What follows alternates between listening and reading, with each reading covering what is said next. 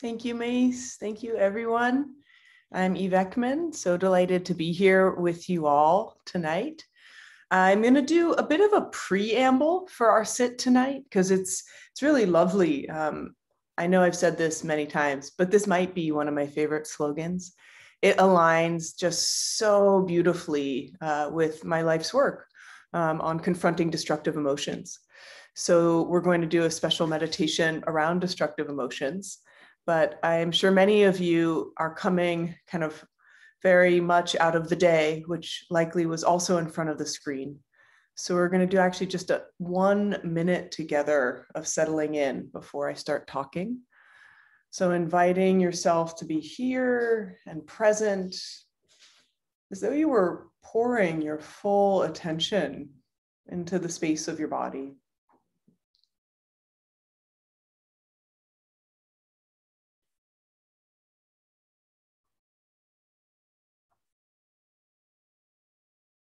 And all the various detritus of the mind, the planning, the thinking.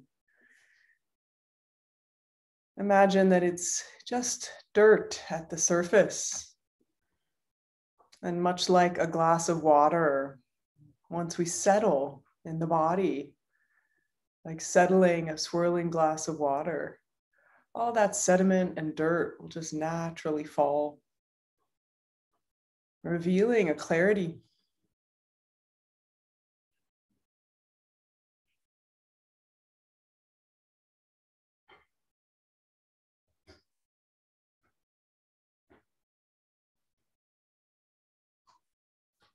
a couple more moments here to really notice what's in the body, not just at the level of temperature, warmth, or coolness, or aches and pains, but notice how the body is feeling at the level of our subtle body.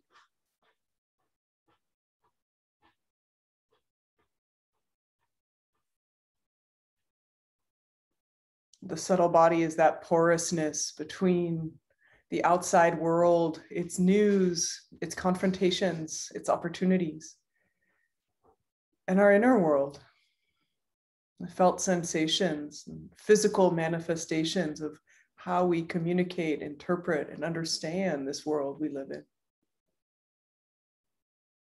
So, a couple moments here to attend with gentle curiosity to the subtle body.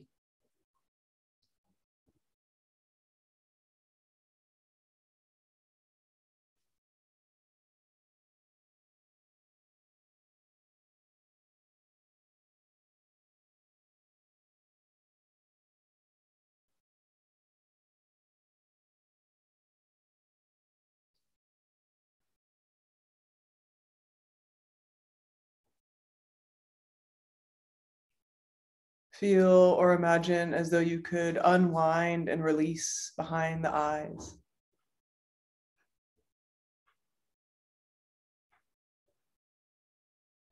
Feel or imagine as though you were loosening between the shoulder blades.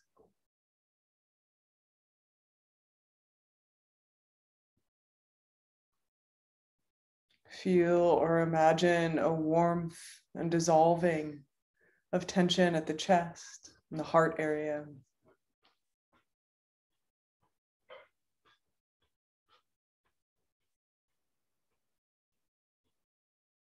And feel or imagine the sensation of stability, solidity, and presence at the belly.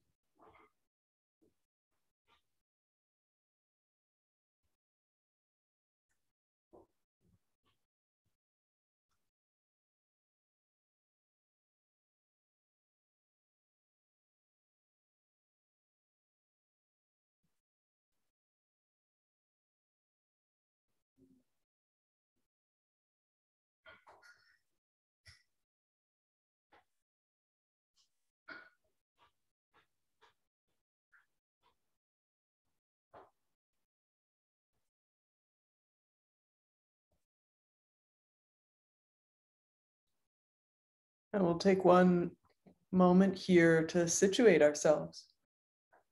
August 18th and 2021 in the conventional calendar time. gathering here together in whatever room or space we are in, feeling that space around you.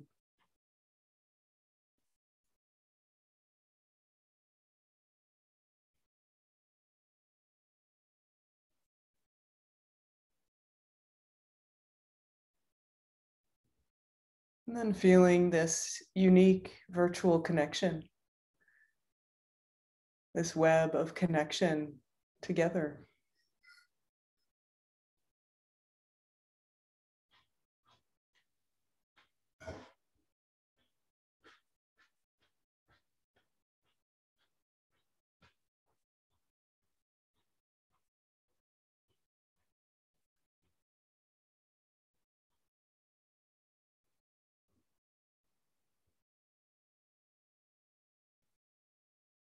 And while still maintaining some presence of awareness in the subtle body.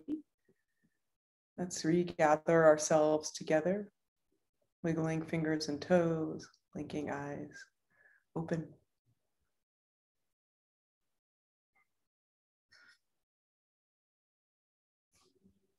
Welcome again.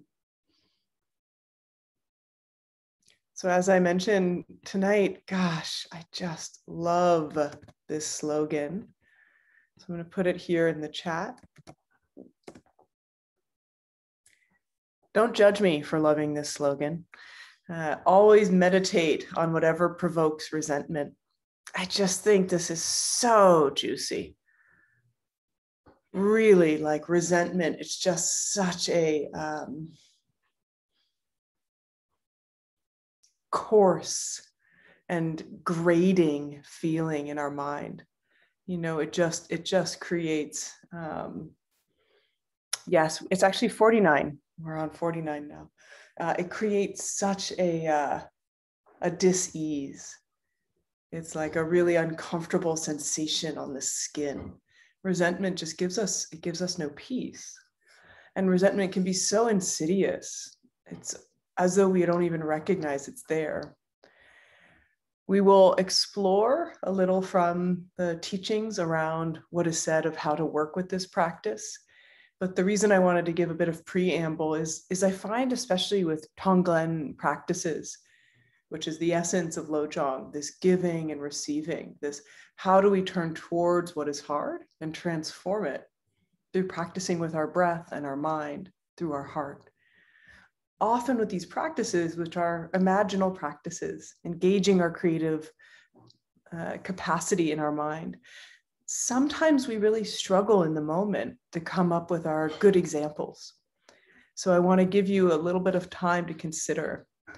So in this practice specifically, we can look at a couple different targets of our resentment. And the target of our resentment is someone, especially in, in the case of this slogan, someone who we know, someone who we're close to, and someone who maybe not all the time, but some of the time feel resentment towards. And this slogan, you know, it's given its whole own point and purpose because it's believed that when we have resentment towards someone we care about, it's extra bad karma.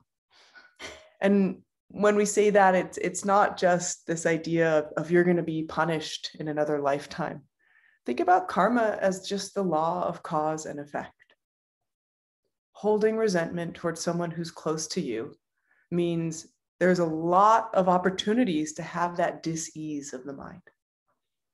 So when we look at these destructive, sometimes defiling emotions, so much of this Lojong practice is encouraging us of how can we unwind?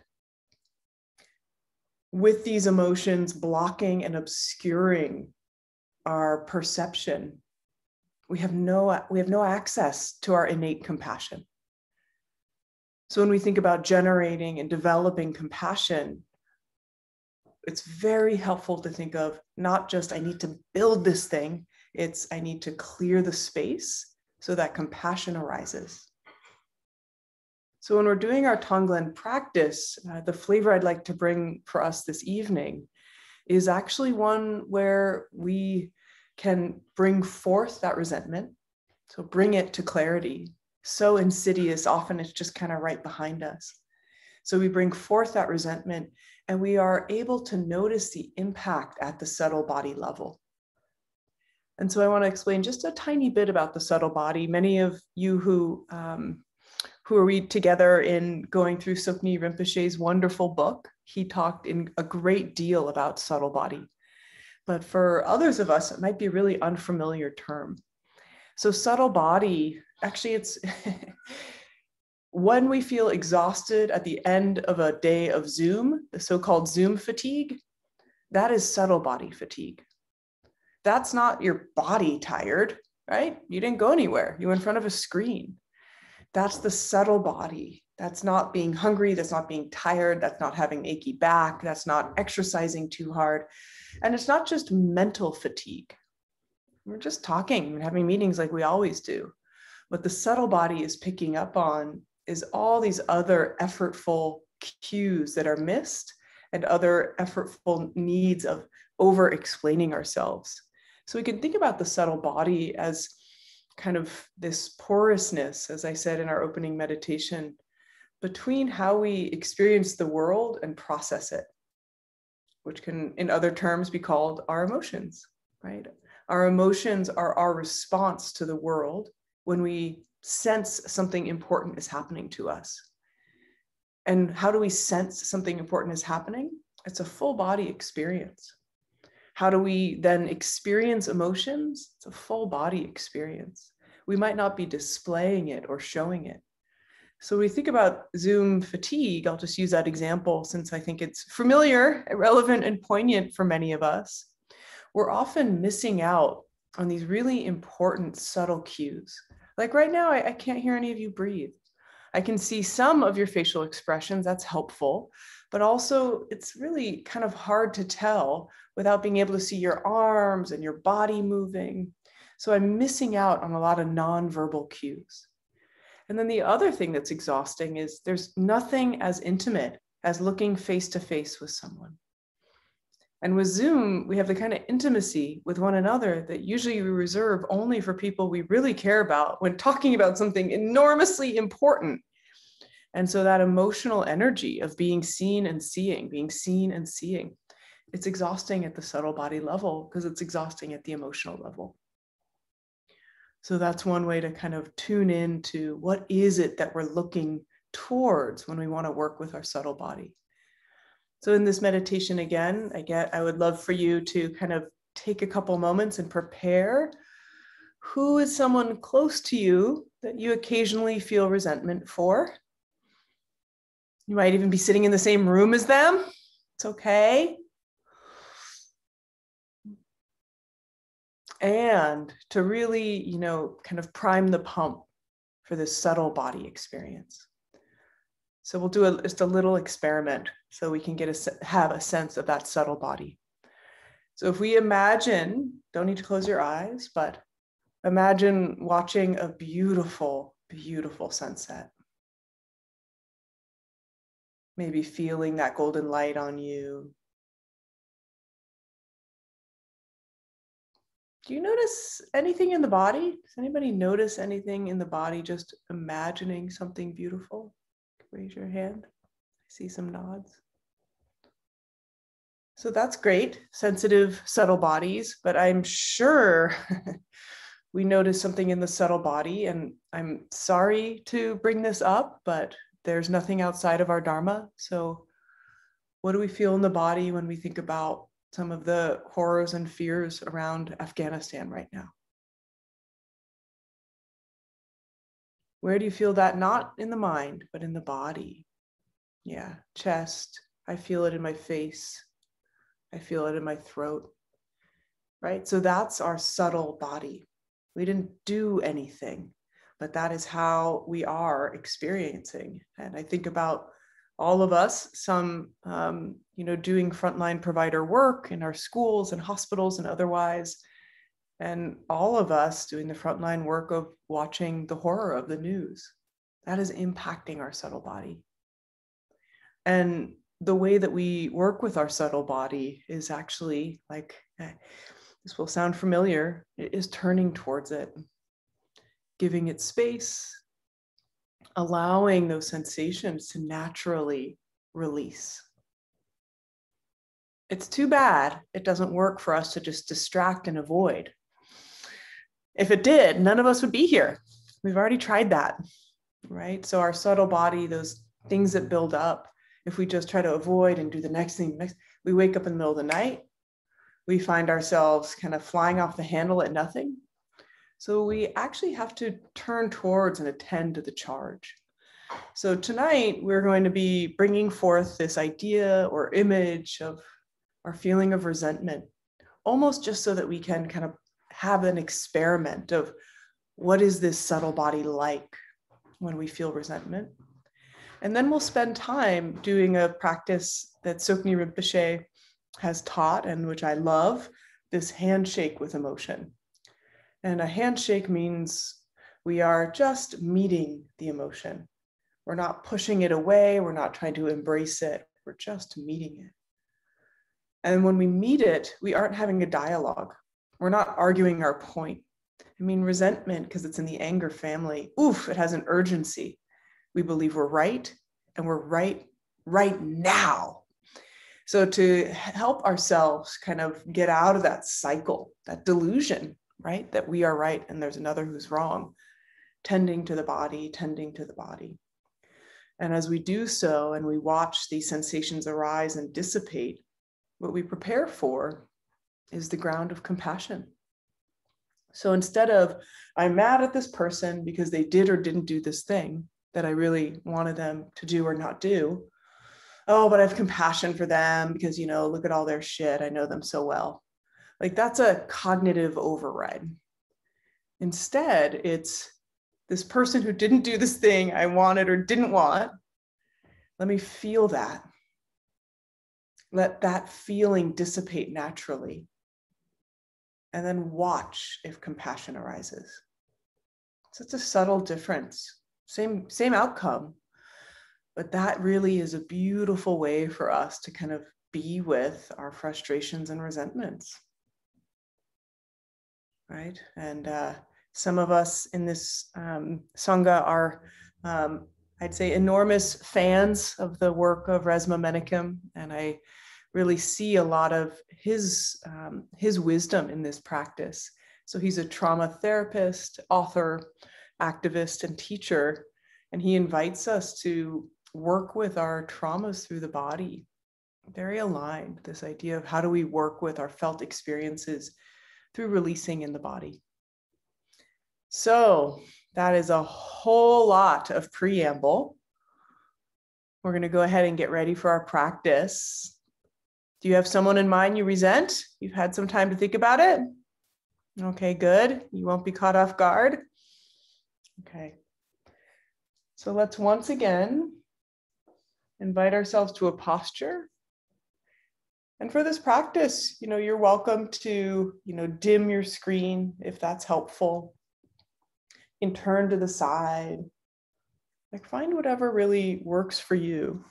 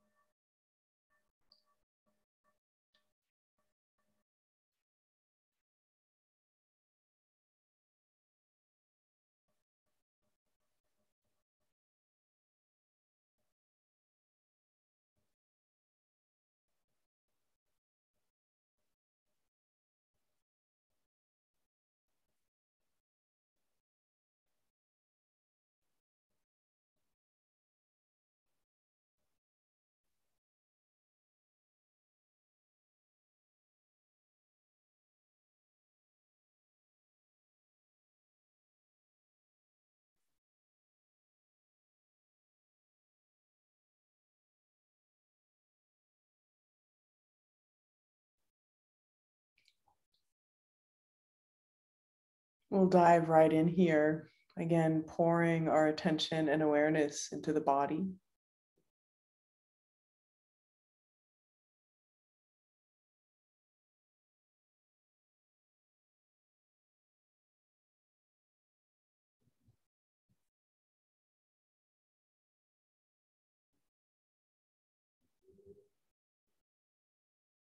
And notice the qualities of sensations in the body.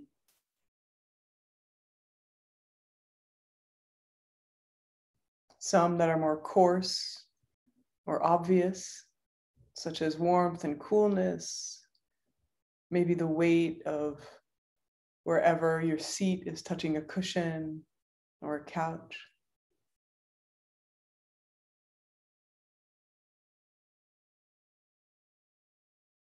And other sensations are more subtle.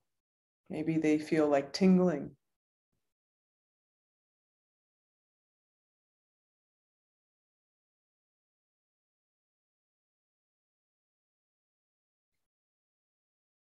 See if you can be very curious, almost as though you were an explorer in a new territory.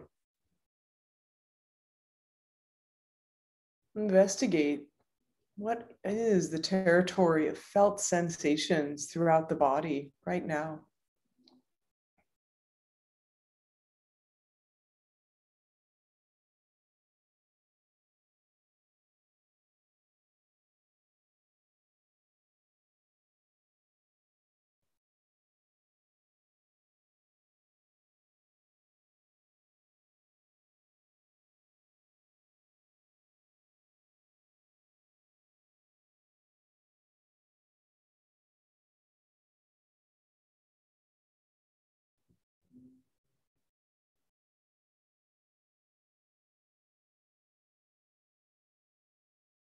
You may notice that there are certain areas where there's sensation that feels more alive.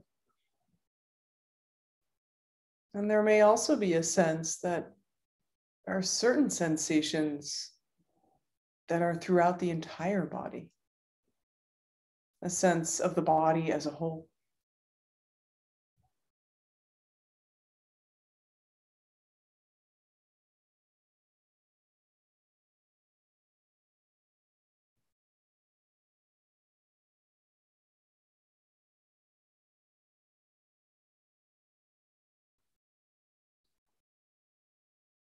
As you notice, maybe you become more relaxed.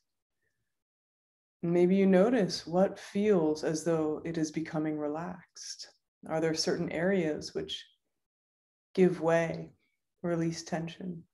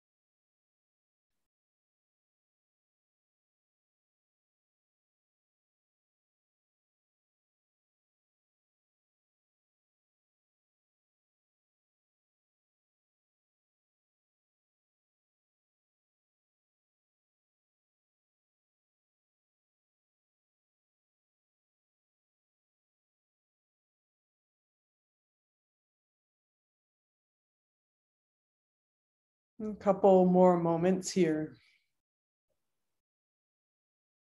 Just calibrating this inner instrument of noticing the body from within the body.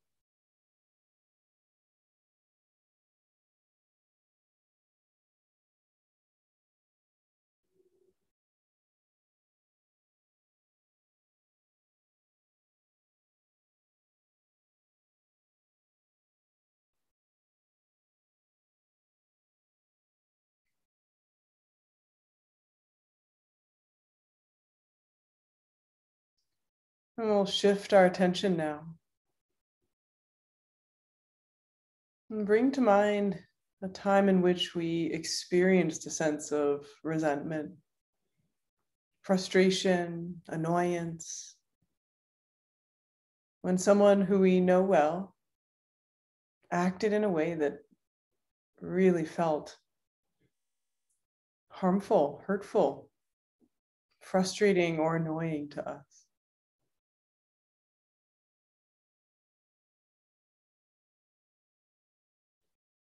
Bring this memory to mind. See if you can recall what exactly happened or didn't happen. Can you recall what you were thinking and feeling at that moment?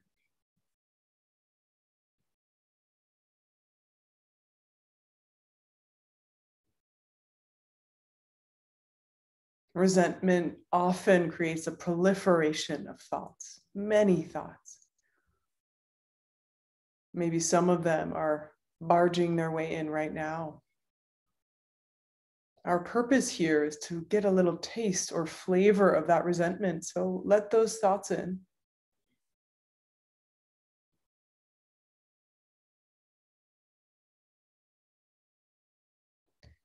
And notice how bringing this memory and thoughts to mind may start to shift and change even the muscles in your face. Maybe the brow starts feeling tight and cinched together. Maybe the jaw wants to tighten and lock in.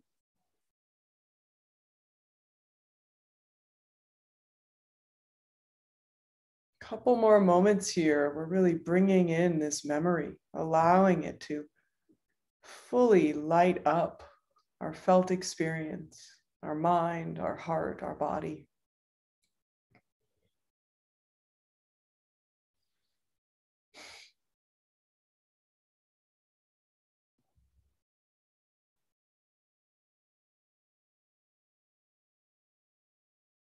Feel the impact in the body.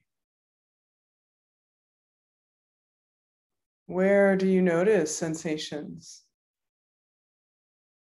What are the quality of these sensations?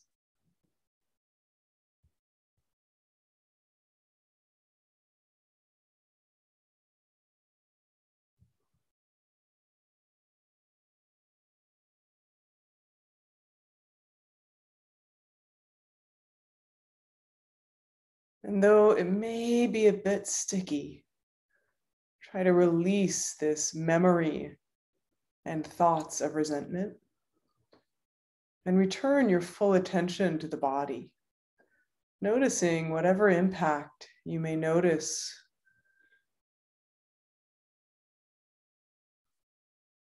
As we feel into the body here, we're feeling into the subtle body and how our thoughts memories and images can stir up our emotional state.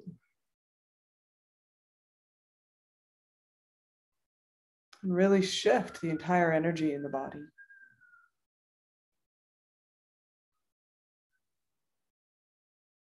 Notice the back of the neck. Notice the chest. Notice the belly. Notice the hands.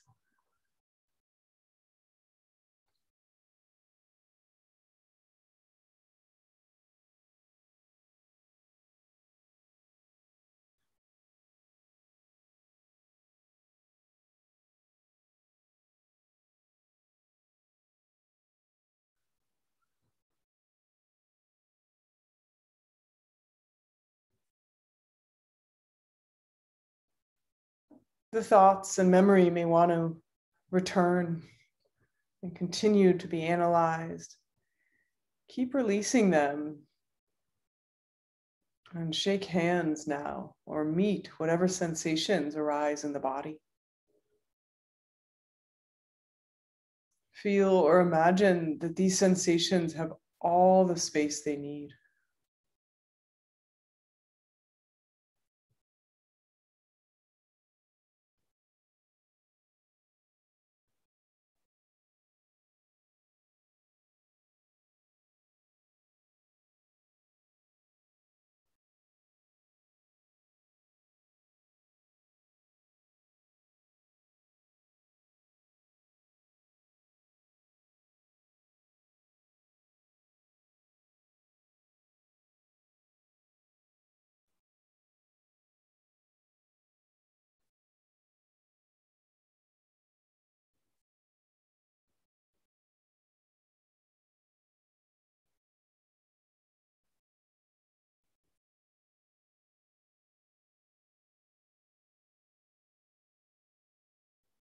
For some of us, this may feel quite intense, many different textures, many different feelings in the body. And for others of us, less so, maybe more dull. Whatever is the felt experience, keep noticing. Especially noticing how these sensations shift and change and maybe even dissipate.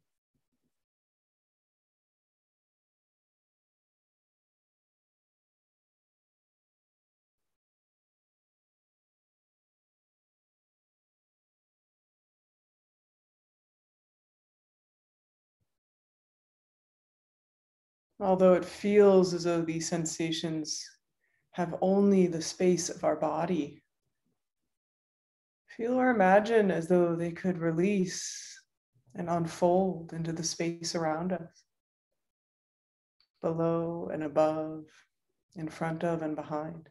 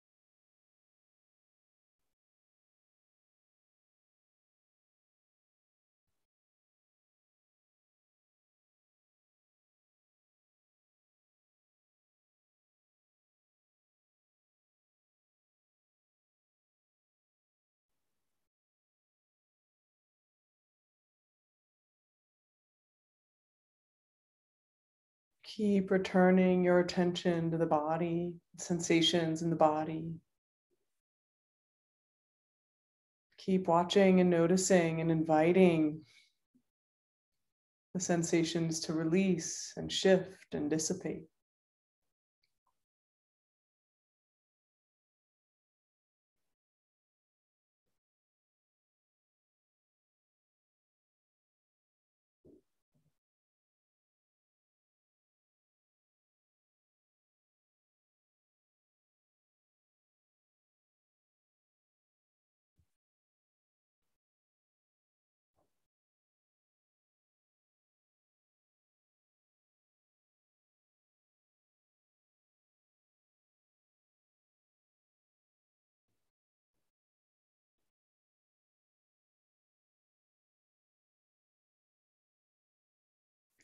As we observe and notice, make space for these sensations in the subtle body. Is it possible to touch into and notice just a subtle sense of kindness and care? Our intrinsic care for our own well being.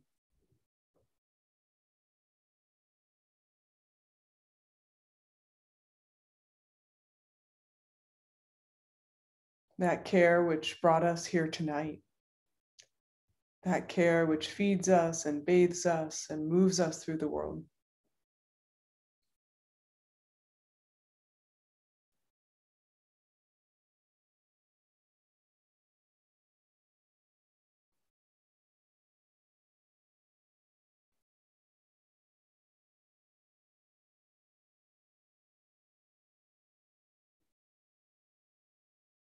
Bring that care to the surface, to the forefront of the mind.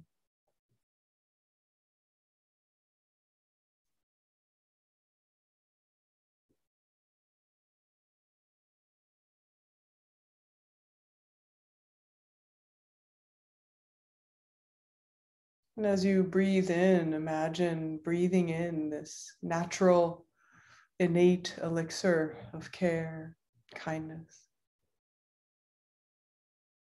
And as you breathe out, imagine just feeling that permeate and radiate through the body.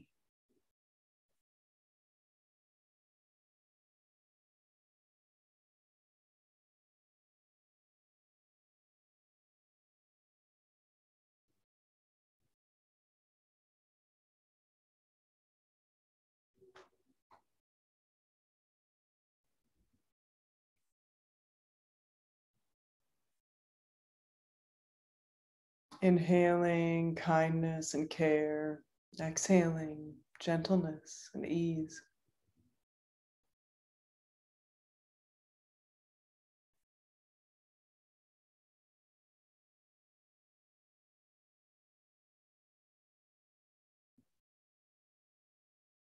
And keep noticing sensations in the body. Can you feel or notice the experience of care and kindness through the subtle body?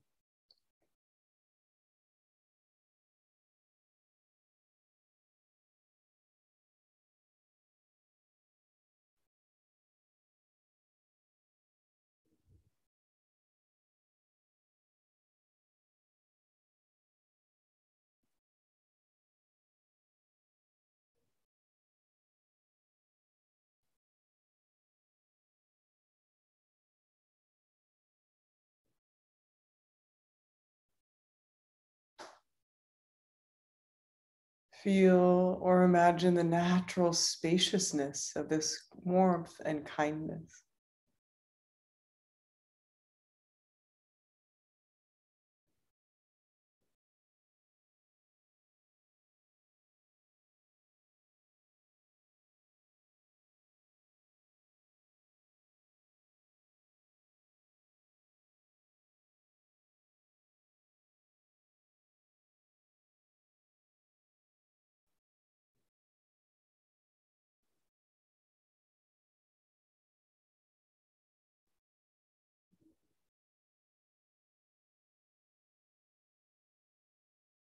Feel or imagine a subtle smile or large smile on the lips.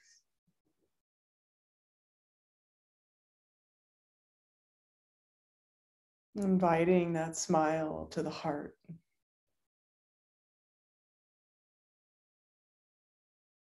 And inviting that smile to the belly.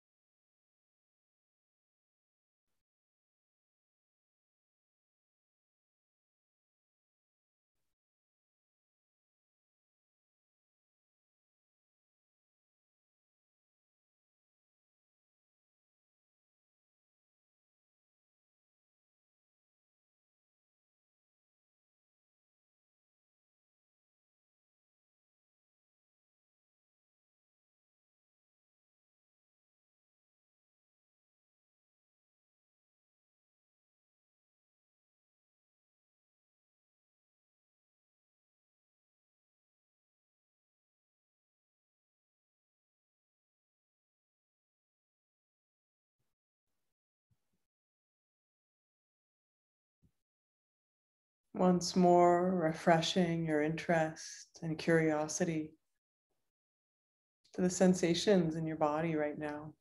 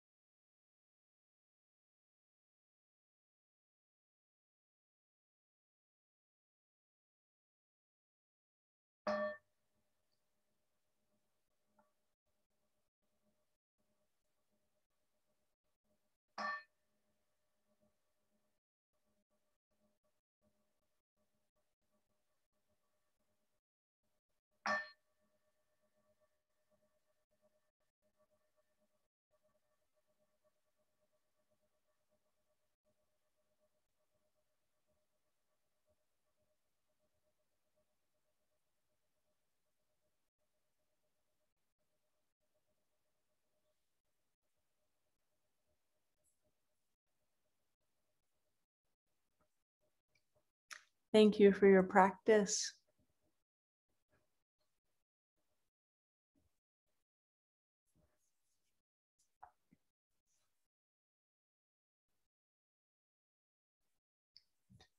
So yeah, I would be curious to hear any questions or reflections, either in the chat or by raising your hand.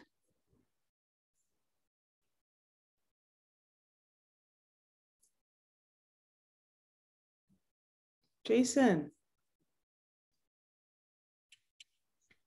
Thank you so much, Eve. Uh, I really feel um, connected to this and resonate with the resentment mantra, you know, the whole concept of, um, I mean, let me try to be clear. Um, I have a ton of resentment and it's really cropping up around specific issues with with work related stuff um, and it that taps into this deeper current of trauma and i'm actually realizing that um, my behavior has to change and i'm having a really hard time figuring out what it is that has to change because it's almost like i come up against i, I feel this way about resistance too resentment mm. and resistance are related where i can't i'm actually realizing more now that i actually i don't know what i need to do in order to change my behavior. And it's and i can meditate and i can work with it. And but you know sometimes it's just like wow this really has me by the it has a grip on me. And so you know during the meditation at one point i re- i felt a release and it was very real. It was body it was a subtle body release. But i'm kind of like um i'm at a point where i want to be able to will that or something i want to be able it takes so much effort in a sense to find peace with it and usually yeah. resentment will make me clench immediately mm-hmm. right so um anyway i guess i'm just really feeling like the things that are happening in my life right now make me respond in a really bad way. Like I'm doing the things that I know I shouldn't be doing and all this other stuff. So I'm sort of at the mercy of it. You know, it's like I have to surrender to it. Um, but anything that you can share about, uh, Chandra said last week something about 60 40, mm-hmm. which was very helpful. It was like when you're, when you're sort of like standing next to somebody in a line for coffee and you can actually use this tool 60 40 how much of myself is, is inward calm before i speak and i guess it's also the pause because when i'm feeling resentment or resistance i don't pause. I just like and so i'm kind of like looking for little little helpers along the way. Yeah. Thank you hmm. jason. I so appreciate your um, your heartfelt desire and honesty around wanting to change and seeing it and seeing that grip of it. Um, and I, I, it's funny because you answered your own question, right? You, that's the unfortunate thing is we all actually know the tools. It's not, that's not the issue. And so I, I wish I had a, a better answer for you. It's going to be super unsatisfying, but it is continuing to cultivate meta awareness. So we have to have that meta awareness, which is right when we feel that fireball entering like the stream, like it's the whole thing, which some of you might have noticed during the meditation. It's not like anger is just happening here, like it's right. We can feel it throughout all of the nadis, through all the subtle body through our nervous system in the contemporary way of talking about it.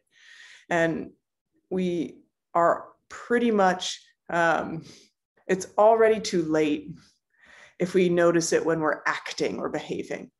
When our tone of voice gets like this, or for some of us, myself, like if we're doing that passive aggressive thing, like we've, you know, that's like um, my dad, who some of you know is a, a, a psychologist who really focused a lot of his life on emotions, he would say being aware of our anger after we've been angry, that's kindergarten.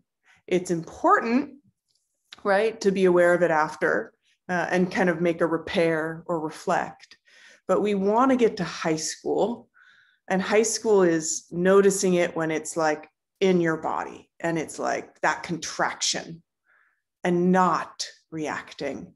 And that may not feel like you've gotten very far, but it's a big difference between kindergarten and high school in terms of the impact and, and harm for ourselves and for others, right? And the momentum.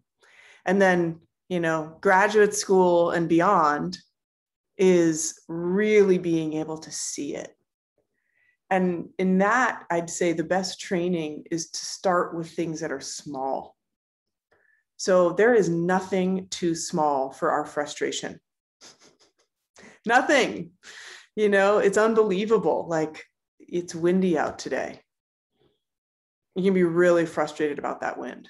Like, oh, it's like for me, I was out, I was like, oh, my hair. It's like, ugh, you know, and noticing even there, like, can I notice when it starts to kind of, it's almost like a, a dye, a color dye in our mind stream, that anger can we notice right as it starts to um, kind of yeah really permeate the way we see everything and that is that's the only because again there's tools and tricks and and they're great but they don't matter at all if we don't know how to use them and that is why you see such a huge emphasis in you know across cognitive behavior therapies across psychotherapy to practice mindfulness because we do you know we do have to be able to feel at that um, kind of you know more and more granular level when our emotion is arising what it feels like in the body and our tendency towards it.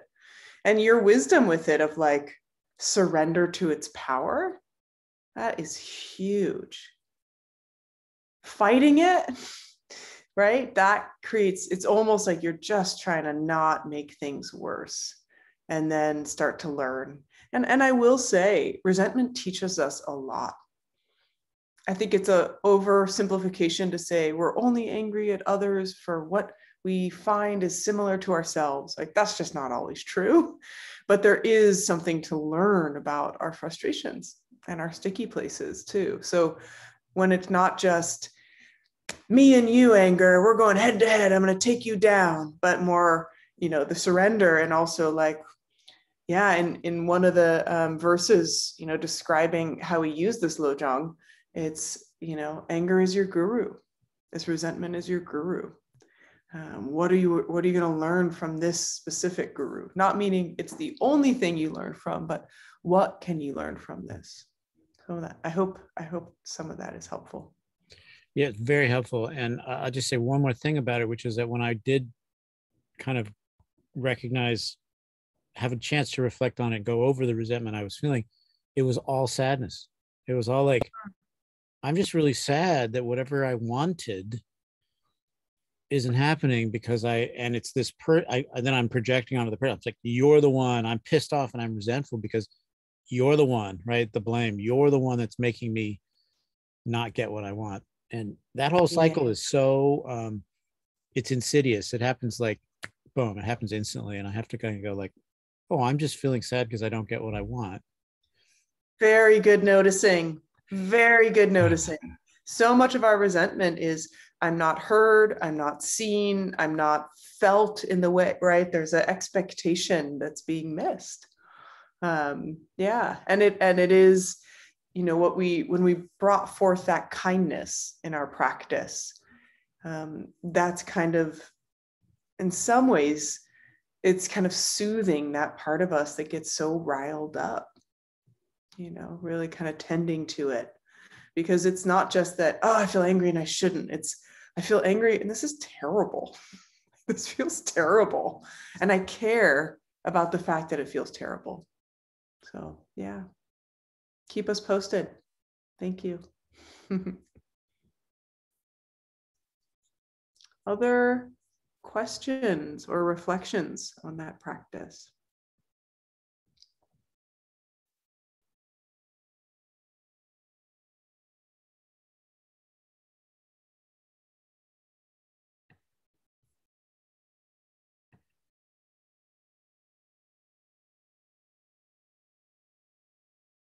Yes, Claudia. Um, I feel my body as my reaction to something that irritates me or, or I have a resentment against or for. I feel it creeping up in my body, but sometimes it's too late and I do react with harsh speech or, you know. Uh, and then I go into my meditation and I try to understand where, where this person is coming from. But then I get angry because I feel, well, okay, this person might be coming from this and she suffered this or that, but that doesn't justify blah, blah, blah, you know? So, I mean, in a very not emotional, but more of a cognitive way, yeah. I try to if you want, kind of like beg or ask for to be able to have compassion. Mm. But it's not really always coming from the subtle body or you know it's it's more here it's not always in the heart so do you have any recommendations i mean sometimes i try to just feel it and then the the compassion does show up but not yeah. always yeah. I, I think you already know. Yeah like again you know you're you're you're describing it and especially for those close to us i mean that's why i love how juicy this is that it's it's not just those people doing those bad things out there. It's the people we love who are frustrated at right? Because so we don't you know the justifications and all of that in the moment and the you know refractory period the intensity of our emotion we just can't see it. But once our whole system our, our, our physiology has calmed down we can see. And occasionally someone really has done something wrong and we do need to talk to them about it. But that's what like 5% of the time maximum you know usually our resentments are are this you know just as jason said like oh i'm hurt. Like how come you didn't why wait? You know like there's a there's a part of us that just is you know not met. How could we? How could we always meet another person? We just can't. And so we inevitably create these inconsistencies. And i'm not saying you know um, as I, I love to quote Pema Chodron's like, don't practice doormat compassion. So don't use compassion to then become a doormat and, oh, it's okay. Like they can treat me however they want and walk all over me. No, pro- no. But it's really, you know, being honest with ourselves about the nature of our resentments um, and, and investigating. And I think, I think you're right on, Claudia, that often we want to think our way through and Shanti Deva would say, thinking about our anger is kerosene on the fire. You know, it's like not the right tool, um, just given how much, how literally hijacked we get by our emotion experiences. Yeah, it's it's really interesting. I, I could probably teach um, like at least a year on anger because there's so much nuance. There's just so much there. And even in the recent um, summit, uh, this Science and Wisdom of Emotion Summit that I got to participate in recently, which was all about the kind of Buddhist and contemplative science approach to emotion, anger. These guys who I was getting to talk with have been thinking about this for 20, 30 years plus. They still don't agree on whether occasionally anger is okay and or what we should do about it and when's the right time to intervene and what are the right antidotes. There's a lot of nuance there. So if you feel confused you're in really good company um, i would say.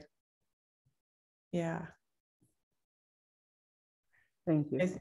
Yeah thank you.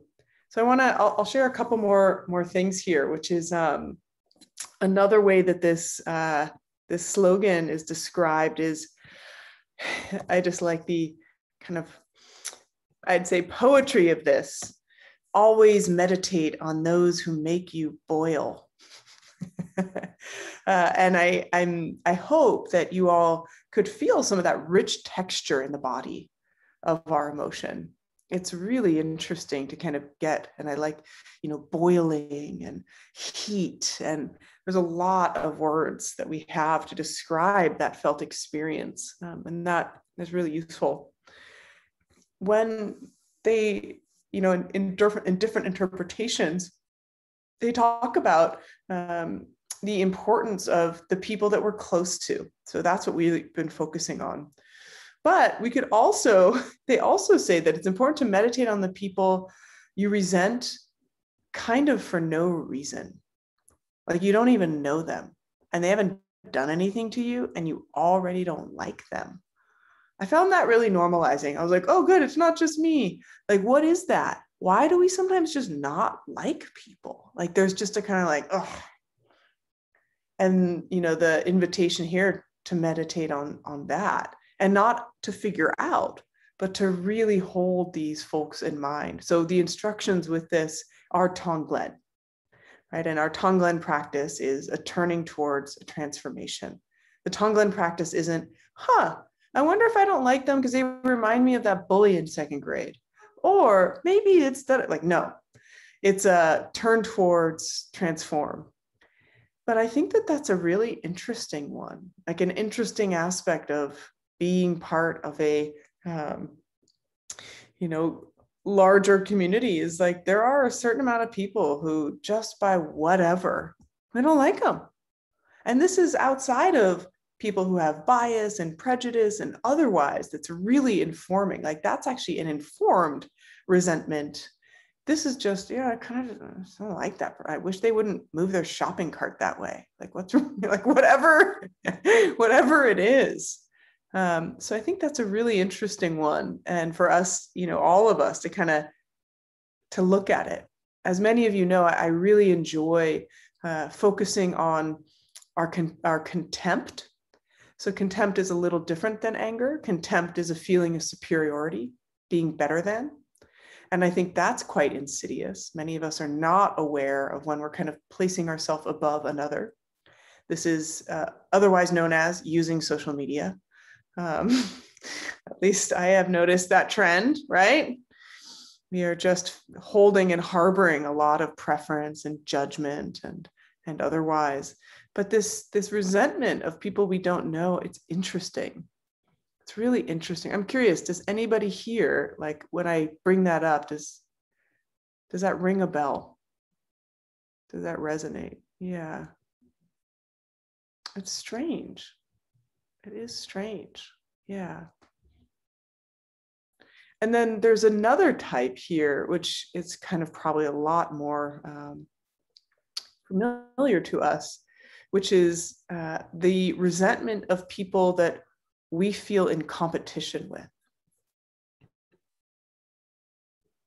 and that's like a hard one you know that's a that's a that's a a, a juicy one i would say I, it's not one i think about a lot um, and one of the um, commentators on this, I think it was actually Alan Wallace's commentary on this around, you know, someone who you feel you're in direct competition with for some amount, of, some valued thing, and this kind of resentment you have to them. And it brings forth a desire for them to not do well and to not succeed.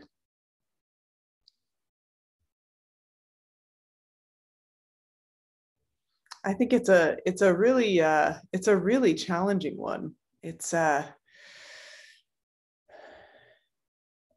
I I've been thinking about competition a bit recently, um, partially because of the Olympics, and and partially just because of, of capitalism. And you know, is there such thing as healthy competition? Can we indeed be competitive with one another in a way that it, that is wholesome? Uh, or does it always lead towards these resentment? And if we had a completely non competitive world, would we not do our best, not succeed in some way or another? I'm just not sure. uh, I like, uh, it's nice to see you all. And I like your comment here going on social media to find opinions, right? Like it's not just like, oh, I'm on social media to catch up with my friends. Like, no, I'm going there in order to feel resentment and contempt. Because that is, you know, one other part of what Jason was saying, um, which is, wow, I'm noticing there's a sadness before my resentment. Sadness has no energy. Sadness doesn't feel empowered resentment's like, ooh, I got something now. Now I'm cooking with with real fire, right? It actually gives us a sense of efficacy. So whether it's conscious or not, most of us don't want to hang out in the despair. We are in times of despair, friends. We are. We have been, but it just continues. And it's really, really tough to hang in that despair and it is really tempting to go to blame and to go to resentment. And, um, you know, I, I was thinking the other day of about just how hard it must be uh, for folks outside the United States um, and just the hypocrisy of, of our country on so many levels. But thinking of it about us as, uh, you know, our contribution to the global emissions and our lack of full responsibility to that. And um, I wouldn't fault anyone who felt enormous resentment towards our country and towards our behaviors. I mean, internally, I do as well. And I think it's, again, it's just this really um, interesting feature of anger has a certain kind of power, a certain kind of energy and force that's useful and it also can really create a closed loop of urgency, contraction, and violence. So when we think about violence and aggression, that isn't coming out of sadness. That isn't necessarily even coming out of fear. It requires anger. That is the motivating force behind all aggression and violence. So the anger, needless to say, has such a, a a difficult and challenging place for us to hold it. One traditional way of talking about anger in, in the Buddhist tradition is saying it's like a hot coal on bare hands. Like it's that hard to hold. And how do we how do we hold our anger in a way? Because we also know that anger is behind the most important social justice movements of our world not maybe enacted with violence, though sometimes, but that anger is what really motivates sometimes what's called a clear seeing. Right? Some and maybe, and that's again, it's just so sticky because it's like, oh yeah, I'm angry and I see clearly and I'm right and you're wrong. It's not that. Uh, it's not that. It's but it there is with anger. Just there can be these um, experiences of absolutely not we can't do this. This is not right. So it's just so tough for us to track at an internal level the anger that's giving way to really meaningful kind of boundary lines, clarity, and the anger that's you know letting us in some ways indulge in hatred and resentment. So one distinction that's made in, in Buddhism around anger is with intent to ill will and harm. That kind of anger is the anger that's truly destructive. Right? Whereas there can be anger without that ill will and harm, anger that's either kind of temporary and fleeting, or anger that actually inspires something wholesome that does give us the energy to move forward. Okay, that's that's a lot of ideas, questions, thoughts. I'd really love to hear. Oh, I see something from Joe. Joe says, My main resentment is about a situation with someone I love that isn't reciprocal for me. I internalize the blame and feel sadness and shame about it mostly. My therapist keeps nudging me towards feeling into some anger. This meditation, where you had us notice the self protective care that inwardly lines resentment was helpful. It helped me find that softness beneath the discomforting experience of anger. And I see that I was worth protecting too. Oh, thank you, Joe. That is so beautiful. Yeah.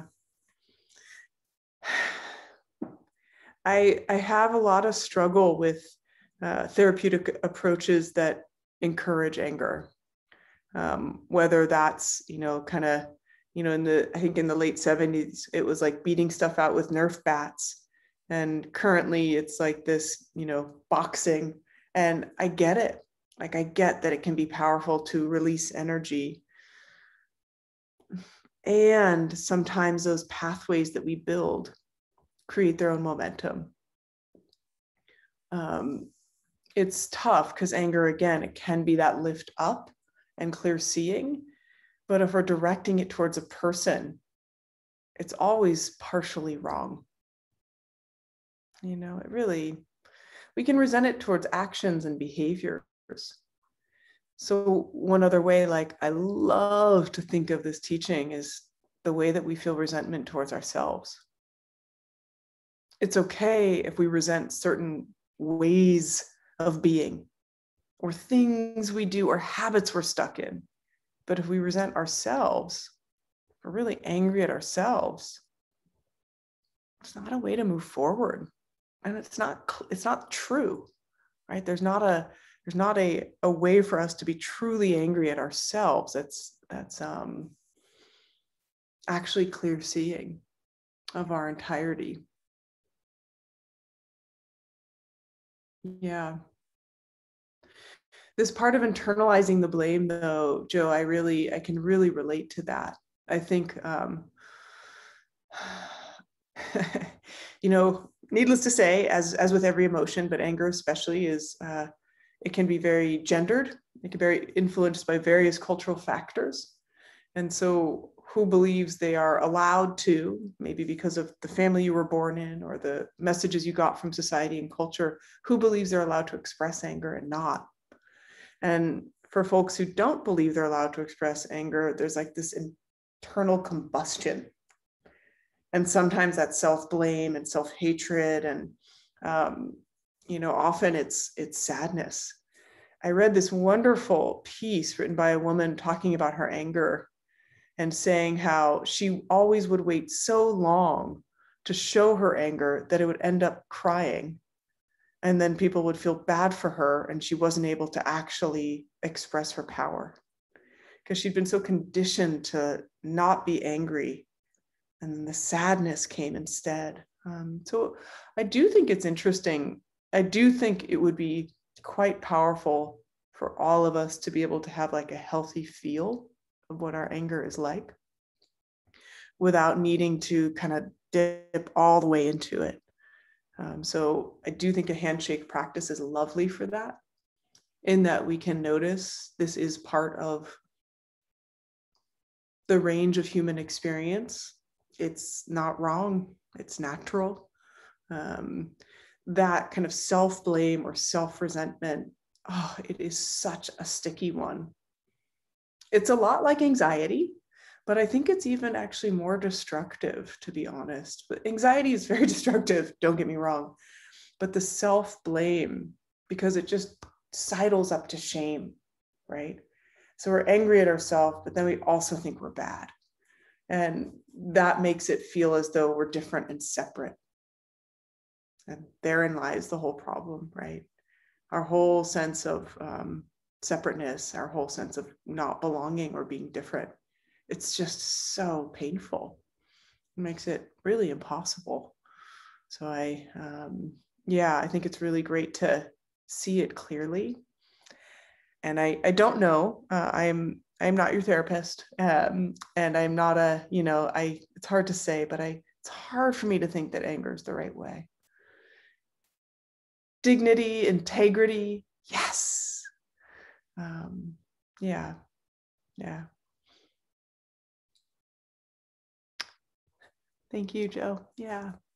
I see from Heidi, um, it's a fine line between anger and fierce love. Mm, a mother might have in protecting her child, the Tara Dakini kind of loving energy. Yes.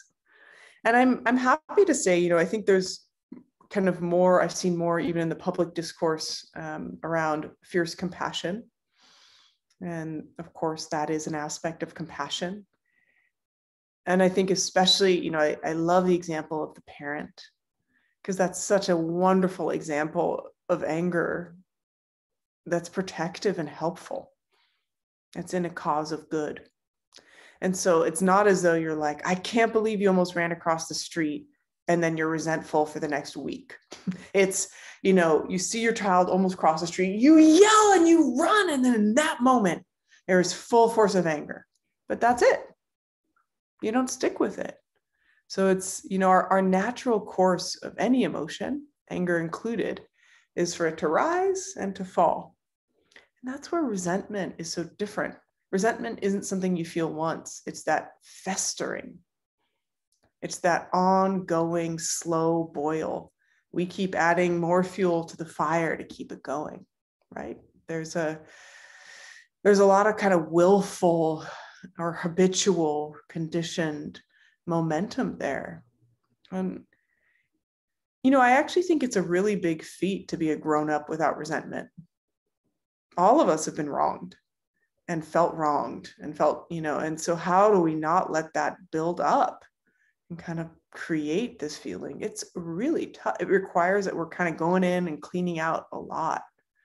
And, you know, I was listening to a beautiful talk by some of you might know um, a local Tibetan teacher here by the name of Anam Thupten um, put him in here because I have a feeling. Such a lovely teacher. He has a, a center out in Point Richmond. And he was um, talking today about this uh, term that I've, I've heard before, uh, but I loved hearing it. This idea that our freedom, one way to cultivate our freedom is saturating our mind with wholesome mental states. So I think we also have to do the work of kind of you know, parsing apart our resentments and anger and understanding them and making space. And then also complementary is saturating our mind with these beautiful mental states. And he says we do so by remembering the Buddha, the Dharma, and the Sangha, right? So kind of really kind of rejoicing in the three jewels. It's a really nice uh, alternative to um, some of the other some of the other ways we can give into our our resentments. Um, so yeah heidi thank you for bringing that up. I think it's it's really important to see the value of that kind of fierce energy. And like anything we don't want to um, overutilize one area right? If we are a if we're a weightlifter we don't only work on our right arm and then we just let our left arm and our legs you know whatever who cares um, then we'll have to kind of pull ourselves away or pull ourselves through the world with just our right arm. So I think fierce compassion has an enormously uh, amazing and powerful um, role in our life. And so, for those of you who are not familiar, I think the easiest, simplest way to describe it is we know that compassion has many arms, sometimes associated with 999 arms at least. So, when we have that uh, 999 arms, these arms actually carry different tools for our compassion. So let's say I have a friend who went through a terrible breakup and they feel t- they feel really sad. It might be that what they need is a beautiful cup of tea and a bouquet of flowers. It might be that what they need is a really hard talking to of good thing you got out of that relationship. It was bringing you down. Let's go out. Right? So compassion manifests in these different ways. Sometimes it's it can be fierce. And it's so helpful because otherwise especially in in the worlds that i sometimes tread in like um, healthcare um, there's this idea that compassion is squishy and soft. It's just being nice. No. Compassion is a clear seeing of suffering and a desire to alleviate that suffering by whatever means necessary. And in order to do that effectively we need empathy. We need to know what's what's being asked of us. Um, okay so terrell uh, i can relate to internalizing blame worrying more about the way someone else feels before actually respecting my own feelings. Ooh i can relate to that.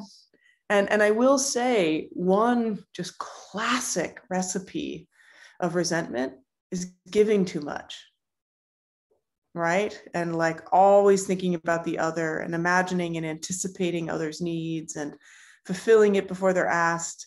And then it just doesn't feel reciprocal, doesn't feel like it's met and seen. And man, yeah, that is a that is an incredible way to, to feeling resentment.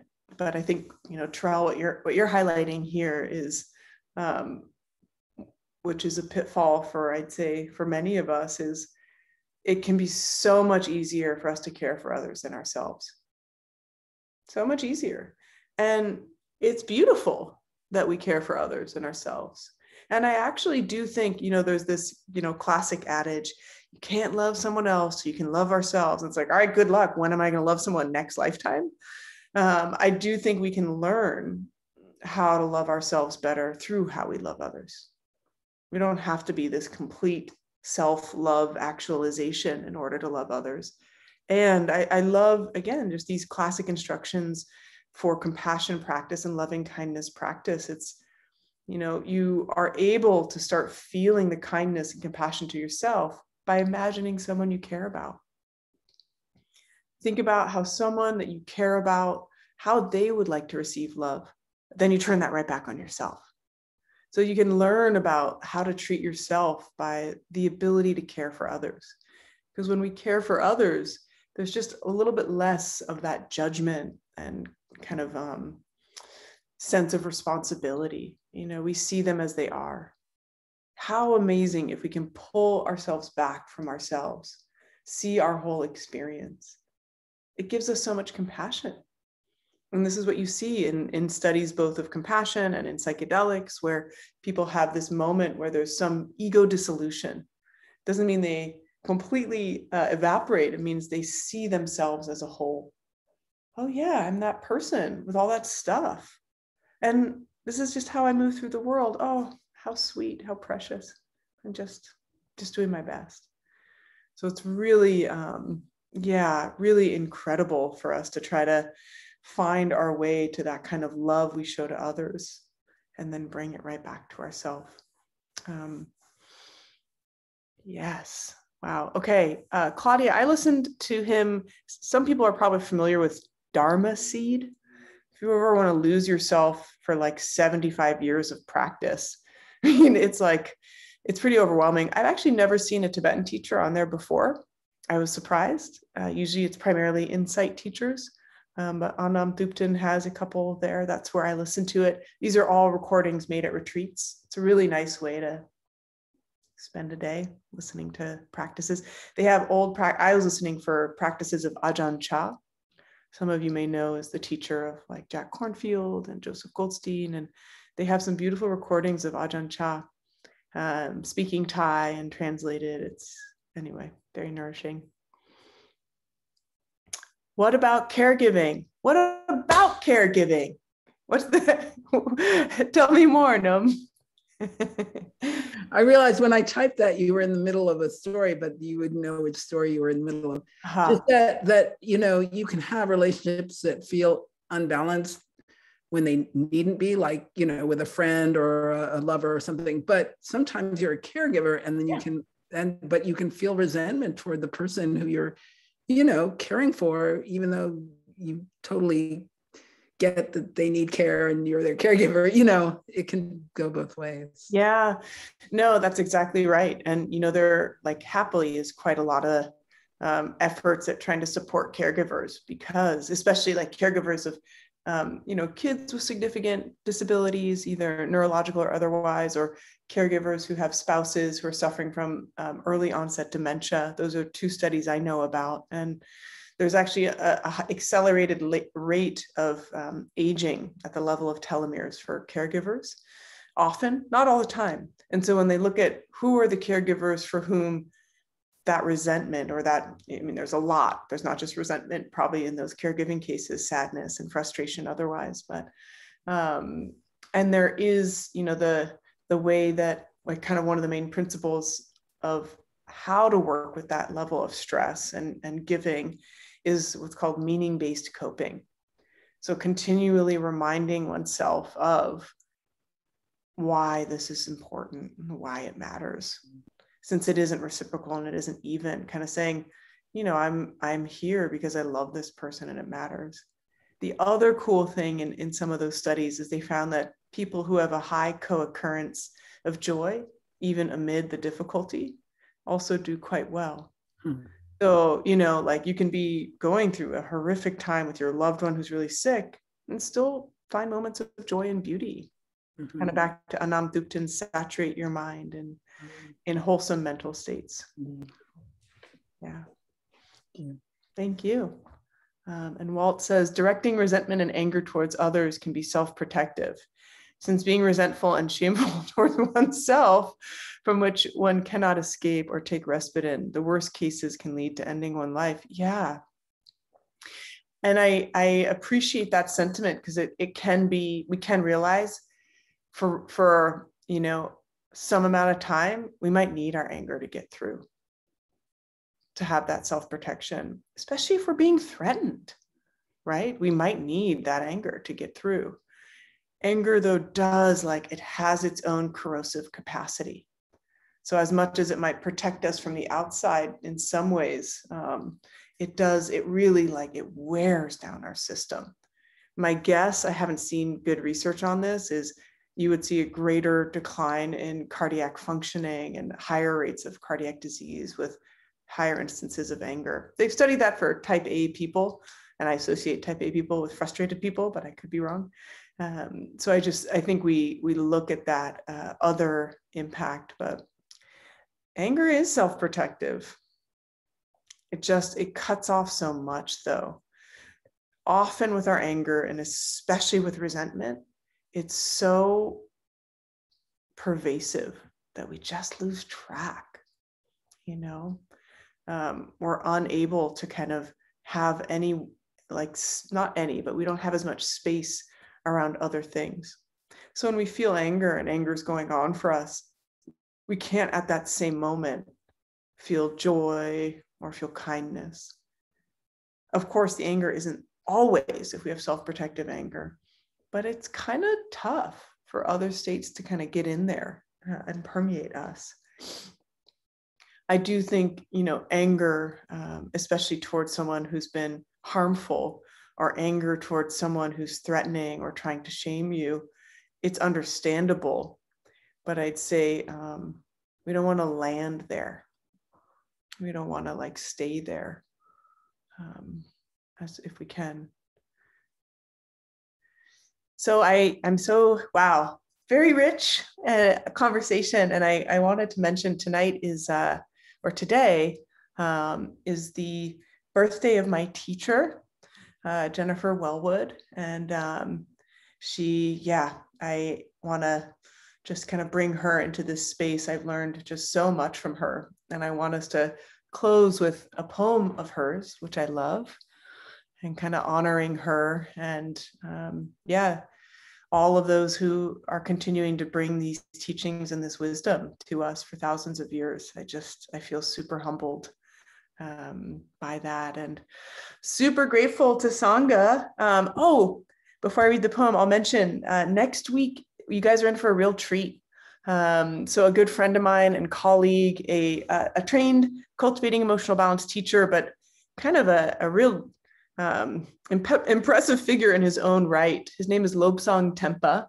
Uh, he's a monastic. He is originally from Siberia, lives uh, primarily in Russia, but in the United States for a couple months now.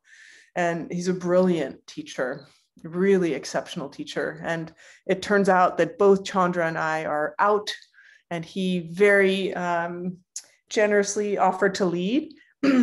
he's just, yeah, he's really impressive. I've gotten to teach with him a couple times. He came to the Dharma Collective once. Um, so yeah, he'll be he'll be with you for slogan 50 next week. Um, okay, so I will offer this poem for us as kind of just a a nice way to bring this evening to a close and to again, yeah, honor our teachers. Such a beautiful beautiful thing when we can have that sense of devotion for um, how much these teachings can transform our lives. Takes a long time, but it's worth it. So, this poem is called Unconditional. Willing to experience aloneness, I discover connection everywhere. Turning to face my fear, I meet the warrior who lives within. Opening to my loss, I gain the embrace of the universe. Surrendering into emptiness, I find fullness without end. Each condition I flee from pursues me. Each condition I welcome transforms me and becomes itself transformed into its radiant jewel like essence. I bow to the one who has made it so, who has crafted this master game. To play it is pure delight, to honor its form, true devotion.